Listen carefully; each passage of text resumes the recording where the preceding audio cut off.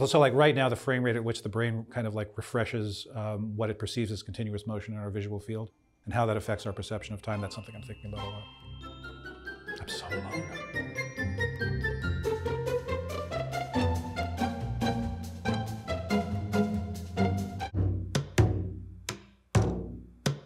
Hey Hodinkee, is there a quote right way to wear a NATO strap? I'm going to be honest, I have literally never been able to find a NATO strap that I'm comfortable with. Maybe it's like the size of my wrist, but they always seem to be either too long or too short. There's like a little dangly bit that hangs off. Uh, or needs to be tucked under, and it never stays tucked under when I want it to stay tucked under. It's certainly not the case for everybody. My colleague James Stacey, for instance, has uh, written about how you can modify a NATO so that you don't have to monkey around with tuck unders or fold overs, and this involves uh, cutting the strap and then basically cauterizing the end so that it doesn't unravel. It works, but it feels like a workaround to me and like not a very aesthetically satisfying one. And like, I'm not as much of a perfectionist in large things as I should be, and I overcompensate by being a perfectionist in small things. So rather than, for instance, having a sense of fiscal responsibility that would allow me to uh, become independently wealthy in a reasonable time span, I uh, find NATO straps objectionable instead.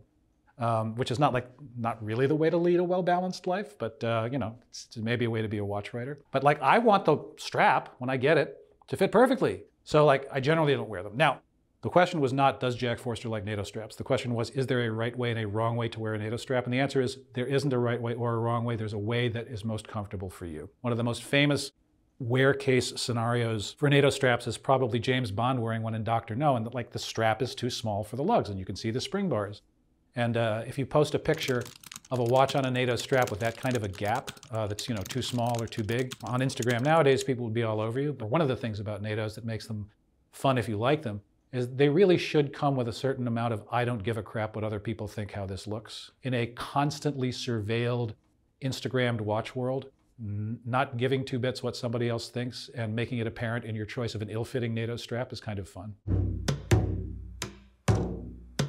What are the different types of shock protection and how do they work? Shock protection is actually a little bit older than most people might suspect, and as usual, um, Abraham Louis Breguet was uh, one of the people who was there first. So why do we need shock protection at all? Well, the part of the watch that needs shock protection the most is actually the balance. And historically, you made balances as heavy as you as you could within reason and as large a diameter as you could within reason because then you would have a greater moment of inertia and you would have greater frequency stability.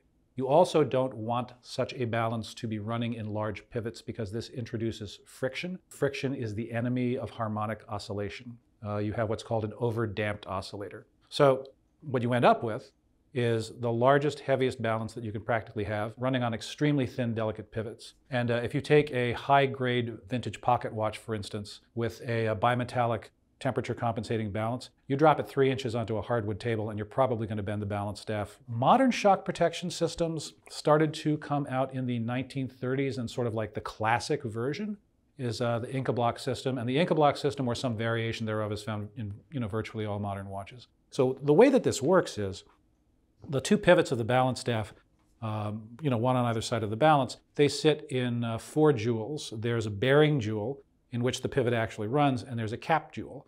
And these two jewels on both sides are mounted in specially formed springs that allow the jewels to actually displace laterally and vertically if there's a shock to the watch, but which under normal circumstances hold the balance firmly enough in position that it can interact very, very precisely with the escapement. That's basically how all modern shock protection systems work um, with, you know, again, with basic variations on a theme. And uh, without them, it's very, very likely that uh, wristwatches would have remained a somewhat niche affectation rather than high precision instruments that are ready to go out in the world and uh, take a licking and keep on ticking. Hey Hodinkee, why can't the seconds hand on a quartz watch smoothly sweep like the seconds hand on a mechanical watch? So this question kind of cuts to the core, the, the, fundamental core of how a quartz watch actually works. We pretty much all know that a mechanical watch has a balance in it that goes back and forth a certain number of times per second. And essentially, all a watch is is a machine that counts the number of ticks and advances the seconds hand uh, according to the number of ticks it takes to occupy an entire second's time. Quartz watches also have a mechanical oscillator inside them. However, it is not a balance wheel. It is a quartz tuning fork. And you run electricity through it at the right voltage with the right configuration of the tuning fork. the tuning fork will vibrate at 32 kilohertz. That's 32,000 times per second approximately. And what you have is you have an integrated circuit that counts the number of times that the tuning fork oscillates. And when it adds up to the number of oscillations that you need to occupy one second, something called a stepper motor advances the hands one increment, you know, which is one second. Now, you can have quartz watches that run at a higher frequency and that have what look like smoother sweeping seconds hands. So uh, Bulova, for instance, has a movement called the precisionist, where the, uh, the quartz oscillator vibrates many, many times faster than in a conventional quartz watch. And it looks, when you look at it, as if the seconds hand is advancing smoothly, but it's not actually advancing smoothly. It's advancing 16 times per second. But there is no watch that has a smoothly sweeping seconds hand, either mechanical or quartz, except for Seiko's spring drive. So the way the spring drive works, you have an electric generator and you have a small flywheel with a magnetic brake applying a magnetic braking force to it, but the flywheel is not uh, oscillating. It is moving smoothly. And uh, that's the only watch that I can think of off the top of my head, or even halfway down towards the bottom of my head, that has a, a seconds hand that uh, actually adv- truly advances smoothly without any increments. Hey Hodinkee, I'm looking to buy a watch as a parting gift for my boss. He's a serious collector and I have $5,000 to spend.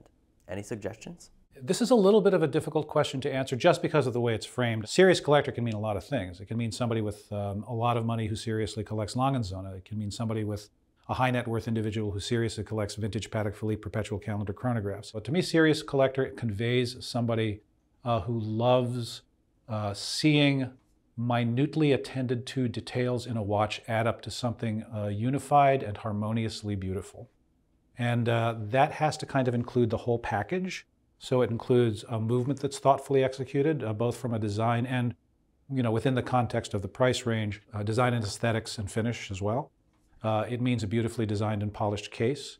It probably means simplicity over complexity because uh, it's much easier to produce a simple, beautiful watch at 5,000 and under than it is to produce a complicated watch at 5,000 and under. You know, there are there are a number of brands that are potential candidates. Uh, I mean, I mean, I'm a huge Grand Seiko fanboy and uh, have been for many years. And I think that if you want something really beautifully and thoughtfully executed and uh, something that really expresses the most essential aspect of what it is that makes a watch interesting to somebody who's interested in watches, Grand Seiko's like good bread and butter. It's very hard to beat. So you want to talk about the specifics about what makes uh, Grand Seiko, I think, you know, to this day, a great value at that price point. They have very, very elegant, beautifully designed dials, really, really smart use of color. Uh, the cases are beautifully designed and polished. Uh, the dial furniture is absolutely exquisite. And uh, you take all those things together, plus what's really kind of an astonishing price point for a watch of that high quality, and uh, it's, it's, it's, a bit irresistible. I think another company that's really worth looking at in terms of offering a tremendous amount of bang for the buck is uh, Tudor. And the fact that Tudor makes really interesting watches with uh, really robust, um, really well engineered movements, interesting cases, and interesting dial designs, it's pretty well known. One of my favorite uh, recently introduced Tudor watches is the Tudor FXD, and it's a, a, little bit of a divisive watch because it doesn't really toe the line in terms of what people expect from a classic dive watch design, but having had a chance to wear one for an extended period of time, it's kind of a knockout. It's really, really comfortable to wear. I would start out looking at those, uh, looking at Grand Seiko in general at that price point, and looking at uh, Tudor, the FXD in particular, uh, if you're looking for something that's, um, you know, really kind of just a super sturdy, go anywhere, do anything field watch.